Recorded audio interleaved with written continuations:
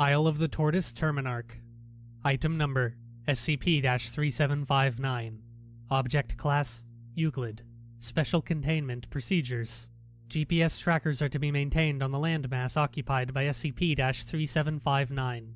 Standard disinformation, ship and aircraft redirection, and satellite imagery doctoring protocols apply. Description SCP 3759 denotes a group of several thousand intangible Abingdon Island giant tortoises, Chelonoidis abingdonii, residing on a variable landmass currently 380 kilometers west of the Ecuador coast. SCP 3759 instances transmute any surface they step on into volcanic rock, up to a maximum radius of 5.8 meters. Geological analysis of this rock indicates composition consistent with that of the Galapagos Islands. Rock produced by SCP 3759 instances is the only known material they cannot phase through.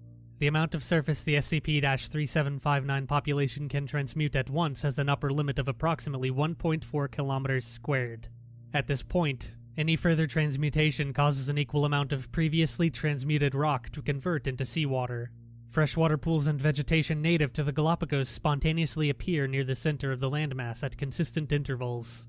Addendum On the morning of June 24, 2012, Lonesome George, the last non anomalous Abingdon Island tortoise, died. The population of SCP 3759 organized into a circular arrangement, and in the center of the circle, a new instance of SCP 3759 manifested.